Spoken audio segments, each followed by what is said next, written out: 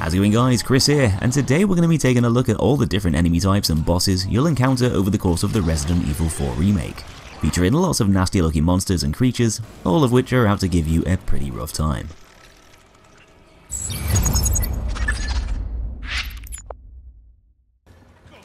So the very first and most common enemy type you'll come across is the Ganado, but more particularly, the village people. No, not the ones trying to get you to join the YMCA, but the ones trying to shove pitchforks into your face. The local villagers in the game have been practically brainwashed to follow a crazy neo-pagan religion, forming an army of mindless zombie-like humans which have been infected by the Plaga parasite, influencing their actions and potentially mutating them at will. Despite basically being cannon fodder for their religious leader, Ganados can be extremely aggressive and very hostile to outsiders, having strict orders to kill trespassers on sight. The villagers are armed with a wide variety of farming tools and random things in the environment they can weaponize, staggering towards you while lunging with axes, pitchforks, scythes, and lots of other stabby objects. It's generally best to try and keep your distance, with the Ganados having strength in numbers, often surrounding you and attempting to turn you into mincemeat as they lead you into a corner. Shooting them in the head and legs will cause them to stumble, allowing you to kick them all over the place and deal high damage. Though it can often be best to sneak up behind them to take them down with your combat knife, if you fancy going down the stealthy route. Although most of the villagers will resort to short-range melee attacks, some of them will attempt to attack over distance, using crossbows and by launching dangerous things in your direction. Axes being a pretty common thing to whiz past your head, but also makeshift Molotov cocktails and dynamite too, which can be far deadlier and trickier to avoid. Definitely a good idea to try and shoot those things first, before they have a chance to be sent through the air in your direction. Now you gotta remember that the Plaga parasite is pretty much in charge of these humans, using their bodies as a host.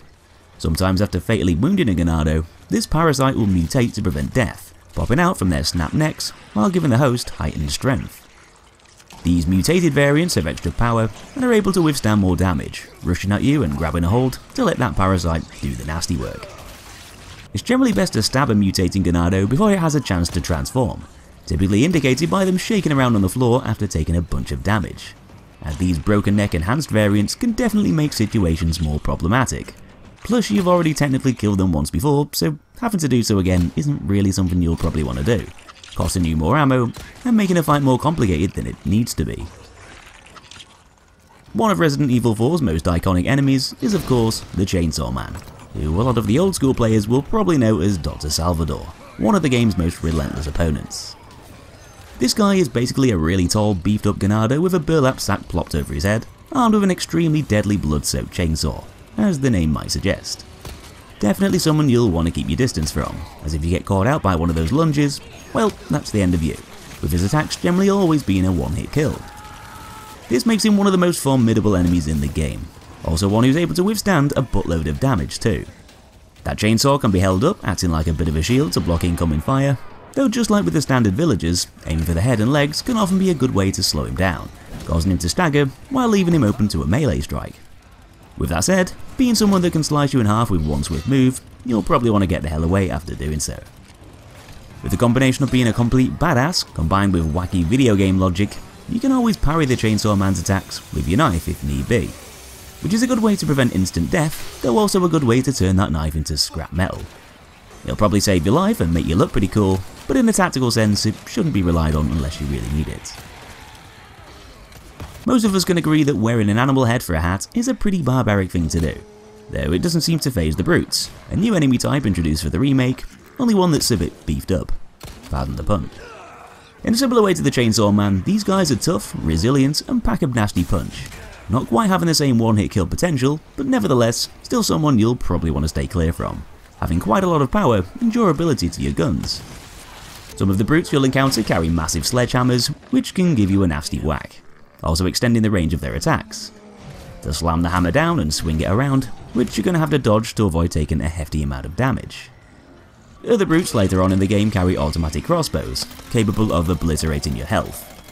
It's typically best to hide behind cover when those bolts come flying, popping out to dish out the damage with your own weapons in between those firing cycles. Though to buy yourself some extra time, you could always shoot the crossbow itself to set the brute alight.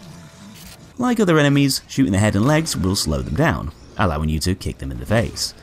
Though because of the greater threat they pose to a lot of the other enemies, it can often be best to prioritise taking care of the brutes first, using your stronger weapons and grenades to get rid of them with less fuss.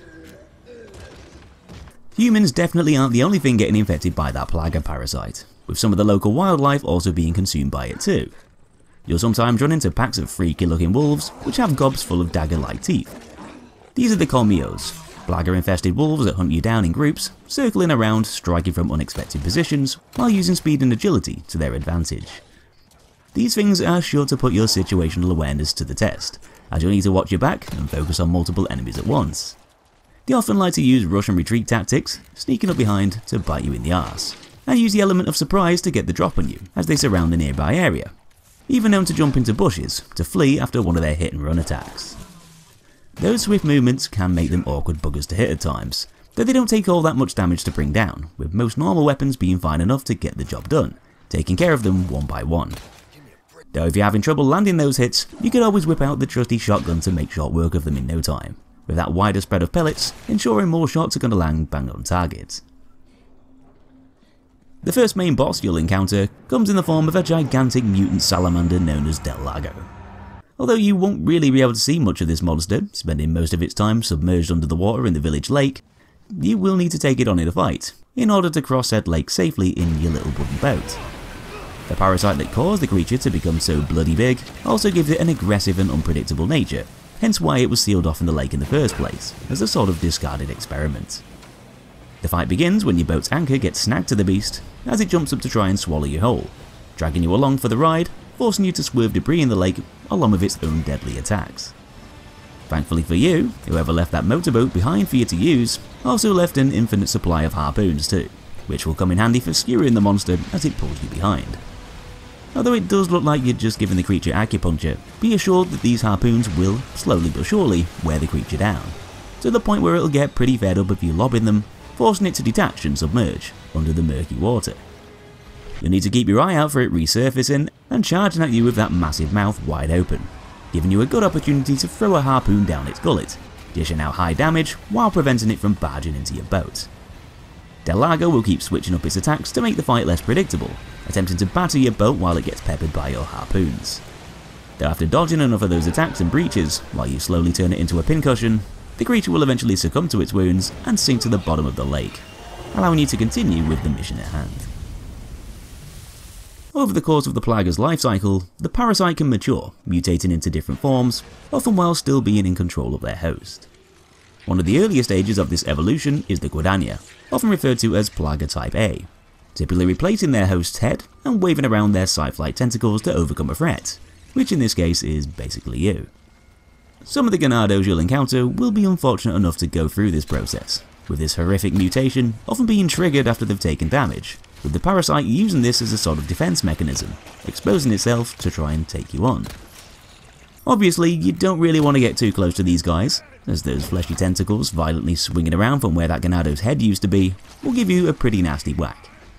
They're not exactly very tough at this stage, only taking a few shots to kill, but still something you'll want to take care of earlier rather than later. Though a good way to do so is by using flash grenades, with the parasite being extremely sensitive to bright lights. This Guadaña mutation can also occur in some of the wolves you'll run into as well, with those tentacles sprouting upwards erupting from their backs, lashing out if you get too close. Because the wolves are more nimble than the human hosts, this can make their attacks even more effective, being able to close the gap quicker while combining pounce attacks with the Plaga's arm jabs, to make them even trickier enemies to fight. One of the biggest enemies you'll face is El Gigante, a human that mutated to an extremely large size being the subject of Plaga testing. In a similar way to Del Lago, essentially being a scientific experiment, this guy also showed increased hostility and aggression towards pretty much anything it encountered. So although it could be seen as an effective bioweapon, those anger management issues were a little bit hard to keep under control, resulting in El Gigante test subjects to be locked away where they couldn't create any more havoc. Well, that's until one manages to break free, with a little help from a Ganado, just as you're passing through the area it's being contained, and with no way of escaping the monster, it's up to you to take it on in a fight.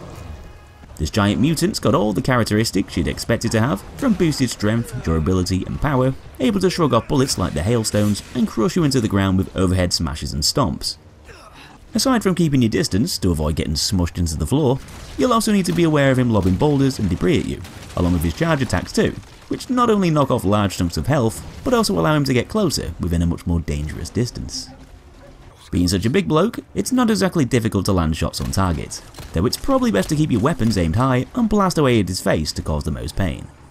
Weapons like shotguns, grenades and flashbangs are all going to help here to dish out more damage quickly. And whenever the big guy staggers, it's a good idea to slash away at the parasite popping out from his back, acting as a bit of a weak spot. If you chose to save the dog earlier on in the game, then he'll come back here to return the favour. If you didn't save him, then shame on you.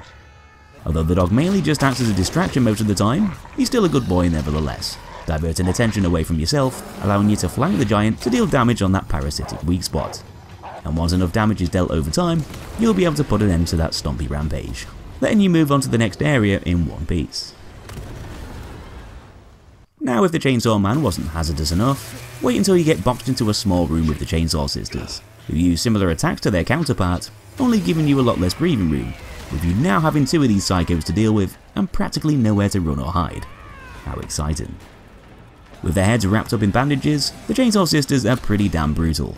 They're able to withstand loads of damage, and of course, deal loads of damage, with practically all of their attacks being fatal, ending your life at any moment with just one grisly lunge.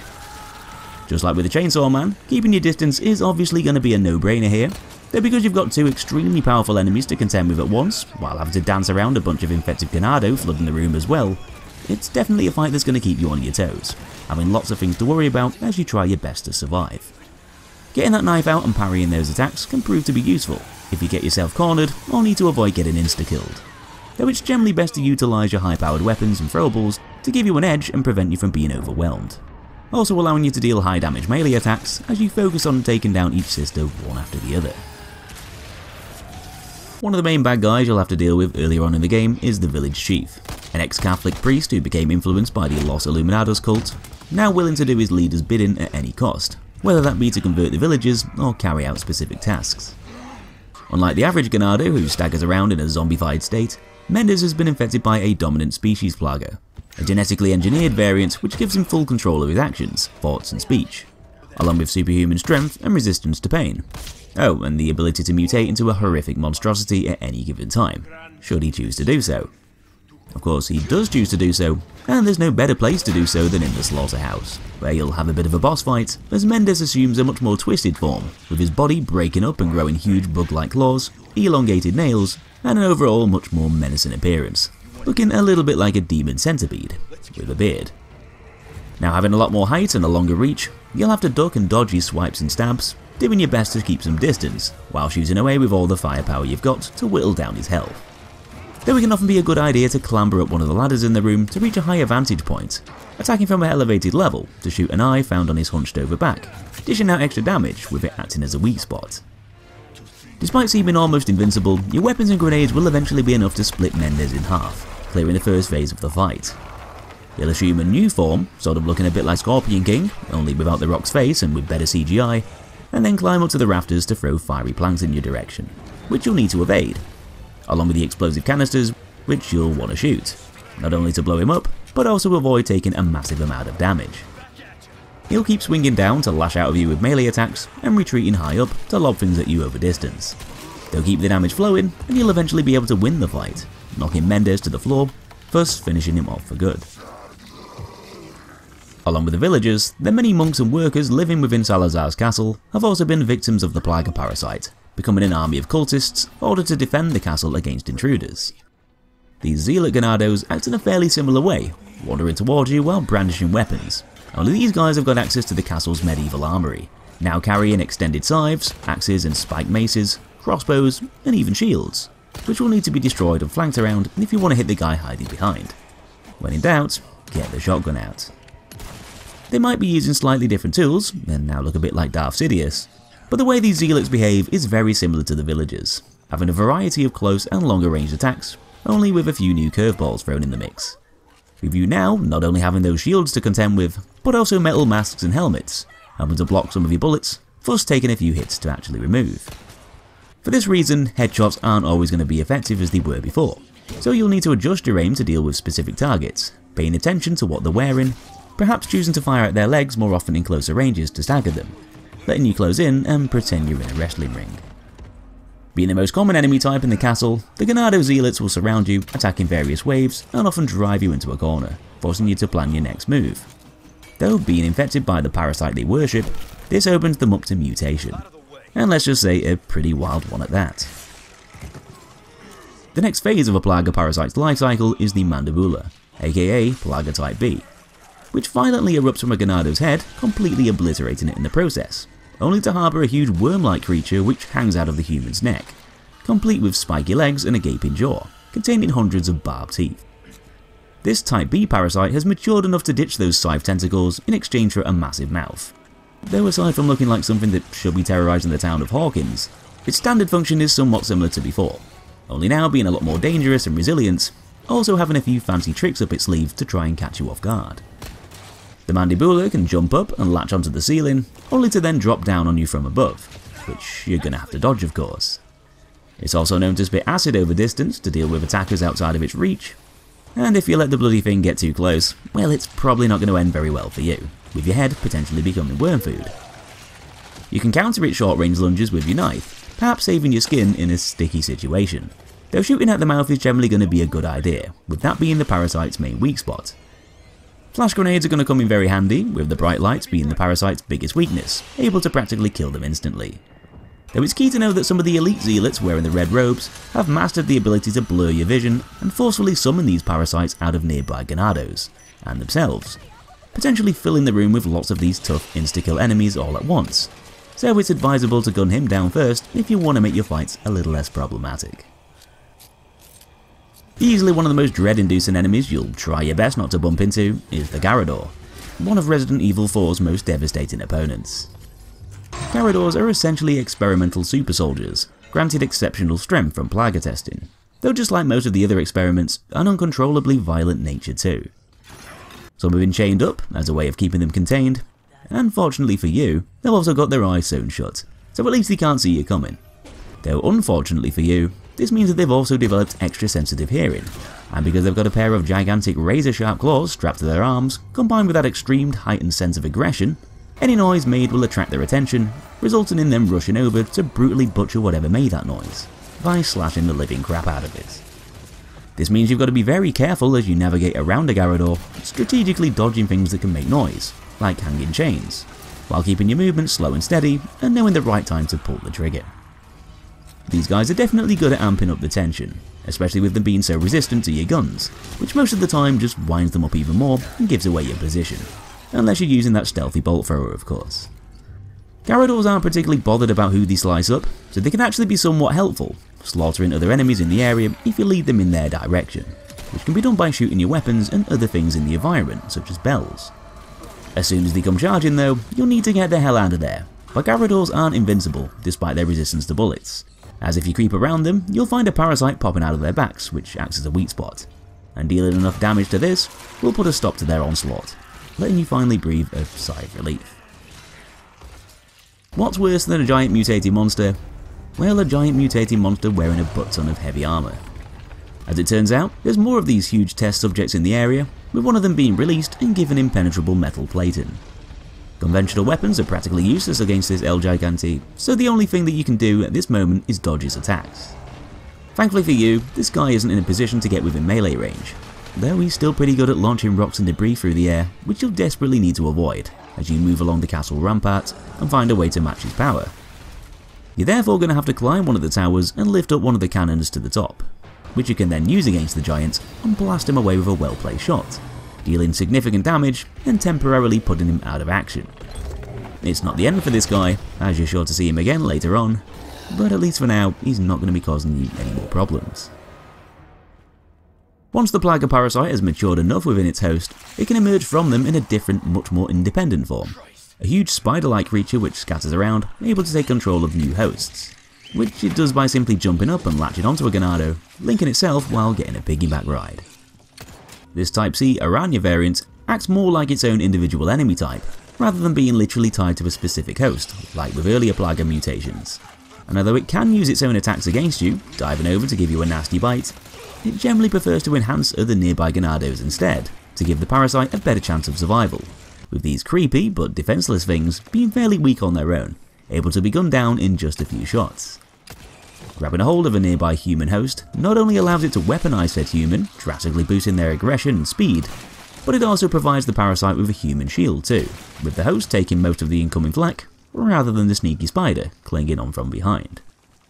It's therefore a good idea to shoot them before they get a chance to latch onto a body, as they can just keep hijacking different enemies until they're put down for good, which can really alter the pace of your gunfights, forcing you to move and think fast.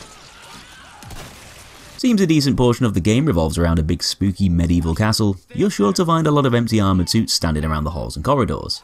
Though as it turns out, some of these suits aren't quite as dormant as they might first appear, actually being inhabited and basically possessed by Plaga Type A, which doesn't currently have a human host to infect.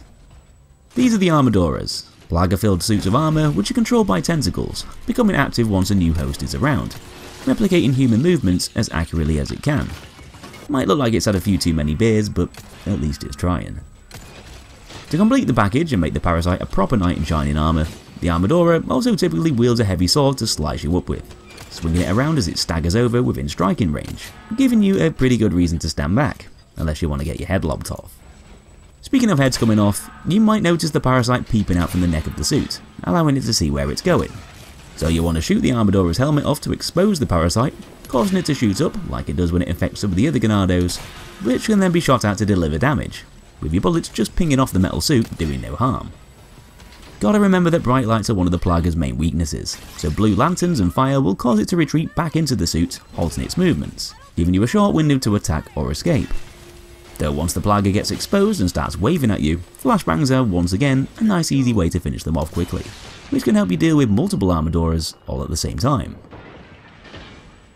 Another horrible experiment gone wrong comes in the form of the Novistador, giant bug-like creatures which were made from human and insect genes being fused together.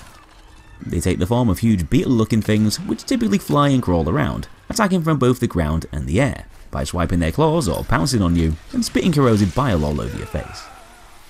Some of them could even swim and hunt you down from under the water. So these guys can be pretty versatile when it comes to attacking from different places. And they often like to do so together, surrounding you from different angles, forcing you to keep an eye on what's around. The Novistador creatures are highly vulnerable to gunfire, so despite sometimes being awkward to hit due to their unpredictable movements, at least it's not going to take too many shots to bring them crashing down, only to explode into a pile of mushy goo. Of course, there is strength in numbers, so you'll need to whittle down their numbers quickly before a whole swarm of them flood the screen. And they also have the devious little trick of being able to blend into their environment too, waiting for their prey to come wandering by as their skin acts as camouflage. If you can spot them, then they're basically a sitting duck. And in the areas where there's quite a lot of Novistadors around, it's often best to tread carefully, observing the path ahead before you go charging through it, like a dope. If you've ever wondered what you'd get if you crossed a stag beetle with a xenomorph, and then made it 10 times freakier, then you'd probably wind up getting something that looks a little bit like this guy. The Verdugo is another mutated DNA mashup using human and insect genes spliced together, controlled by Plaga, and ordered to serve as Salazar's bodyguards. The Verdugo is an ideal fit for the job, towering over the average human while being equipped with huge claws, long barbed tail, superhuman strength, and a bullet-resistant outer shell, all things that are going to cause you a big problem when it eventually tries to hunt you down. As you creep around the castle sewers, the Verdugo is going to be on your case, persistently stalking you and jumping out to attack unexpectedly, dashing over to take you on up close. Failing that, it'll probably be hiding under the floor or in the ceiling, whipping out with its tail to deal damage from the shadows. And by combining both styles of attack, puts you in a pretty intense situation, having to be prepared to either dodge or run. Although you can take the coward's way out and just bolt it to the lift to escape, if you want to take the Verdugo on properly, it's best to utilise the nitrogen pipes dotted around the hallways, which can be activated to freeze the monster in place and weaken its shell, allowing you to inflict more damage with your guns and slowly whittle down its health. With that said, the Verdugo sure does take a beating, so it's definitely advisable to put those shotguns, revolvers and grenades to good use, as if you want to win this fight, you're going to have to be patient, determined and prepared to use up a fair bit of ammo. If you just can't get enough of El Gigante, well you'll be happy to see two of them pop up again a little bit later on in the game. One that's fairly similar to the first guy you encountered back in the village, and the other being that armoured one you blasted away with the cannon, who's back for a bit of revenge. You can expect this fight to play out like before, only now having two stompy giants to deal with at once, though instead of a dog running around and acting as a distraction, you've now got Luis to take some of the flak as well. The giant without all the armour should be the main priority at the start, running down his health with your weapons, shooting the head, and slashing away at that exposed parasite popping out from his back.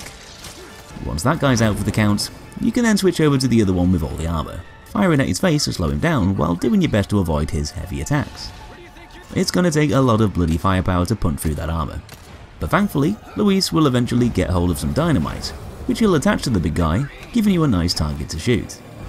If you can time it right, you can ignite said dynamite while the giant's standing over the huge trapdoor in the centre of the room, causing him to stagger over and letting you then open the door, and causing him to plummet down towards the lava pit below.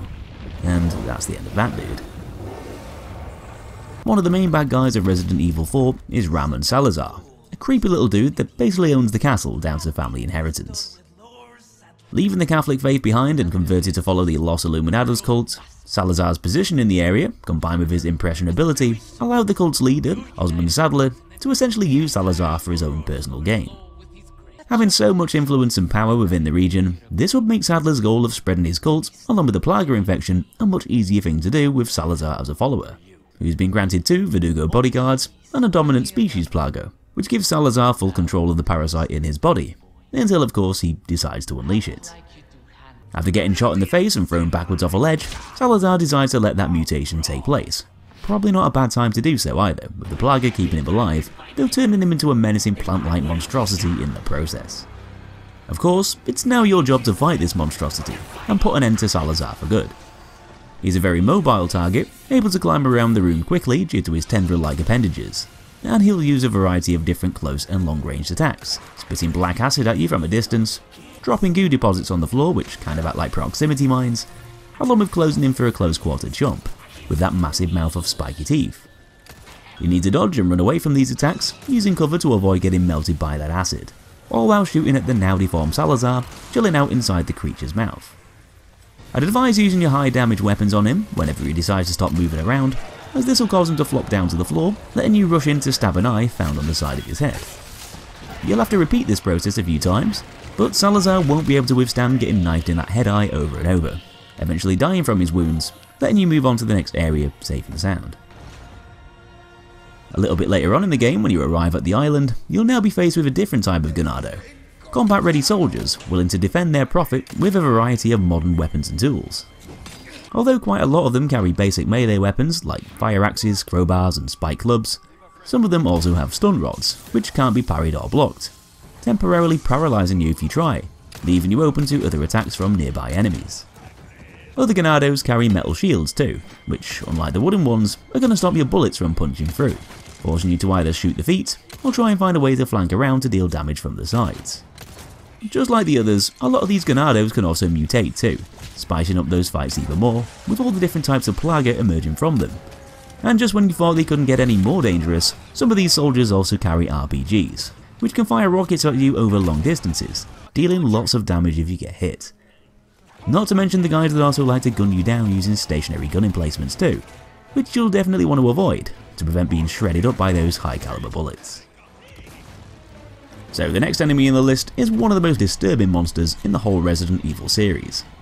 The Regenerador is nothing short of nightmare fuel, an experimental byproduct creature formed in the labs, kept in cold storage while they hibernate. Well, most of them at least. Some of these creatures have woken up and will make it their mission to try and eat you alive. The tall, pale, flabby monsters with stretchy limbs and a jaw full of protruding teeth, stumbling around the dark corridors, pacing around in a clumsy, wobbly, unnatural way. Something to make these guys even creepier is the fact that they can regenerate shot off limbs and body parts too, which basically makes them unkillable by conventional methods, with gunfire mainly just slowing them down, allowing them to hunt you down relentlessly, unless you attack the specific parasites hidden within their bodies. Blasting the legs off can often be a bad idea, with Regeneradors able to slither around on the floor and pounce on you to pin you down. Something they also like to do after you've taken out some of their parasites, possibly to make that last one a little bit trickier to hit as they wiggle around on the floor. You'll have a much easier time taking these guys on once you get access to the biosensor scope, highlighting those parasites, thus giving you an actual target to shoot at to bring them down. And hitting all of these parasites will kill the creature, causing it to explode in a shower of mushy goo. Lovely. Just when you thought Regeneradors couldn't get any worse, well, they can, as some of them have the ability to mutate into an even deadlier form after you've eliminated all of their parasites. This advanced form is known as the Iron Maiden, which is basically the monster equivalent to a cactus, a creature covered in head to toe with hundreds of huge spikes, able to turn you into a pincushion if you get too close. It's got similar characteristics and attacks to the Regeneradors, though now has the ability to extend those spikes and damage you nearby. Though just like before, you can deal with these guys in the same way as their counterparts, aiming for those parasites which are typically found in their head, killing the Iron Maiden for good when destroyed. As one last ditch effort to try and take you down with it, the Iron Maiden is going to explode, shooting those needles all over the place, forcing you to dash off to some nearby cover. It'll be a good idea to run to the hills when it decides to do so, as you'll have to be quick or be dead, when these killers send those spikes flying, giving you yet another reason to have a fear of the dark. So another one of the main bosses you'll have to fight a couple of times in the game is Jack Krauser, an experienced soldier who worked with Leon in the past, now believing the Plaga infection to be a source of strength and power. After obtaining a dominant species Plaga, this gave him heightened strength, speed and agility, which you'll see the first time you encounter Krauser, and are pitted together in a knife fight. Here you'll need to parry and dodge incoming blade attacks, while slicing away at Krauser with your own, to slowly chip away at his health. It's best not to go too wild with your knife, as you'll leave yourself open more to getting slashed up, and it's best to try and read Krauser's movements and predict when he's going to strike, being prepared for him to jump over your head, only to land behind for a sneaky stab in the back. After enough damage is dealt and you've survived long enough, the fight will be over, only for Krauser to return later on in the game after leading you through a maze full of traps and obstacles. You'll have to navigate through the island ruins, avoiding melee attacks and gunfire from Krauser, along with the explosive tripwires and gun cameras he's kindly left behind for you to run into. Whenever he starts to fire bullets and crossbow shots, you've also got a window to return the fire too, dealing heavy damage with the weapons you've got. Though the fight certainly isn't over just yet, as you'll have one last showdown as you reach the end of the ruins. Only this time, he lets the Plaga inside mutate, grow in his arms, transforming them into huge deadly blade-like claws. This is where the real fight begins, with those arms not only acting as weapons, but also acting as shields too, having bulletproof properties. He'll throw everything he's got at you in this fight, rushing forwards while waving those arms around to attack you in close range, and you'll therefore have to run around and evade those strikes, all while trying to shoot back to chip away at that health. It's generally best to utilise the ladders around the arena, switching positions and making you a harder target to hit, constantly dodging and countering attacks while popping off the odd shot here and there, whenever he leaves himself vulnerable. Just keep dishing out the damage and avoiding his attacks, and you'll eventually win the fight, putting Krauser down for good. So the leader of the cult, Osmund Saddler, is the big bad guy you'll have to face at the end of your journey. A bioweapons research chief who's pretty much the source of the region's mind-controlling plague problems, which he plans to use to expand his influence all across the world. Saddler has the ability to control the parasites within him and other hosts, so even in his human form, the guy's still got a hell of a lot of power. Also able to withstand normal gunfire, with the Plaga regenerating tissue and allowing him to pretty much soak up your bullets. At the very end of your journey, he gets a bit triggered by you shooting at him, causing Saddler to mutate into a gigantic nasty looking bug creature, with the parasite inside forcing its way out of his body, heavily morphing Saddler in the process. To put an end to the Prophet's devious master plan, you'll need to squash this bug for good, which is easier said than done, with the creature being the size of a house. It'll attempt to crush you into the floor and wave around its bone-plated arms, attacking with a variety of short-range lunges and strikes, all of which you'll need to duck and dodge to avoid taking a hefty smack. Saddler also likes to try and take you on from a distance too, spraying loads of acidic liquid in your direction, which you'll need to step out of the way of. It's best to stay on the move at all times, retreating to a safer distance away from those slams, all while blasting away at the multiple eyes that have appeared all over his legs and body. These act as weak spots, which, once you pop like giant spots, forces Saddler to drop down to the ground, letting you close in to stab him in that main eye, found in his mouth. You'll have to do this several times, or while he destroys pathways around the arena, making it smaller, thus giving you less routes to escape. Shoot his army of Novistadors that come to assist, while using explosive barrels to aid in the fight. And eventually you'll pop enough of Saddler's eyes to take him down, where he'll plummet off the side of the platform to his death. Okay, maybe not, as he's still clinging on to dear life, now wrapping the entire area up with parasitic tentacles.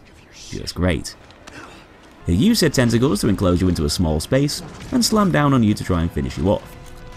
Just keep shooting the orange or black shield, protecting Saddler, preferably with some of your heavier weapons like the revolvers and rifles, and you'll eventually be thrown a lifeline. Literally. Ada will chuck an RPG over in front of your feet, which you can then use to blast Saddler's shield away, letting Leon run over to finish the fight once and for all, stabbing away at that eye one last time, destroying Saddler and his twisted parasite for good. So those are all the main enemy types and bosses you can expect to find over the course of Resident Evil 4's main story. Thanks for watching guys, hope you enjoyed the video. Hit that like button on the way out if you did, and subscribe to see more guides just like this on my channel. Take it easy folks, and I'll be seeing you in that next one. Where's everyone going? Bingo?